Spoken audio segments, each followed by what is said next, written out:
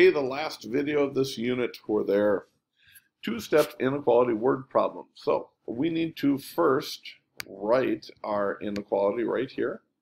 And then it looks like we have to graph our solution on this one. So let's find out what's going on. The latest online craze in the new game, Con on 7, you get 100 points just for playing the game. So if you think about that, it's 100 points just for playing. Um, in addition, so plus, you get 50 points for each seven-letter word, so 50x. Um, Sal wants to break the record, so he needs at least 18,000 points. So he needs that to be greater than or equal to. Oops. Let's get rid of that underline now. There we go. 18,000 points. Write an inequality to determine, notice I already have, to determine the uh, number of seven-letter words W. Oh, it can't be X, it's got to be W, so we got to make sure we watch our variable very closely. It's got to be a W to break the record. So right there is our inequality. Boom. See my nice inequality right there? Already had that ready to go.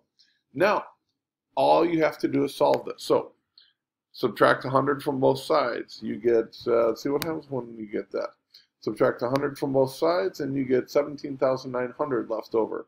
Divide both sides by 50, and you get W is greater than 358. So we move the solid dot, because it's got an equal sign underneath.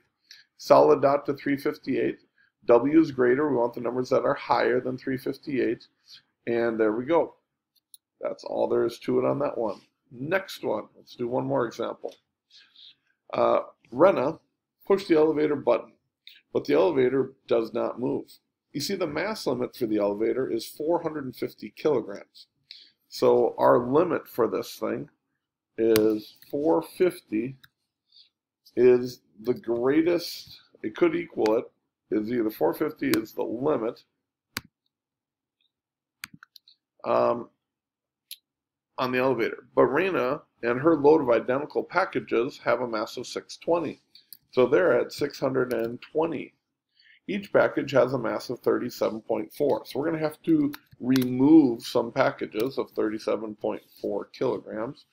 Um, and we'll call that X for the moment. Write an inequality to determine the number of packages P. Okay, X turns to a P now. Um, we could remove. So when we do this, I'm sure I have this somewhere. There we go. Here's my inequality right there we are first going to subtract 620 from both sides because right now it's a positive 620. 450 add a negative 620, we get negative 170. Then we have to divide by the negative 37.4. Remember when you divide by a negative, what happens uh, in the equality sign? It flips, that's right. And negative 170 divided by 37.4 equals 4.54545454, repeating. And remember, its P is now, the inequality sign is flipped. Now, here's the deal. You can't remove a partial package from the elevator. You can either remove 4 or you could remove 5. But if you remove 4, you have not removed enough weight. So in this case, you need to remove 5 packages in order to meet the inequality of that you're less than or equal to 450. So our equation which we typed up right at the very top. And then solving it, we got our number of packages that we had to remove to be five. That's how you do it, guys. Good luck to you. Bye-bye.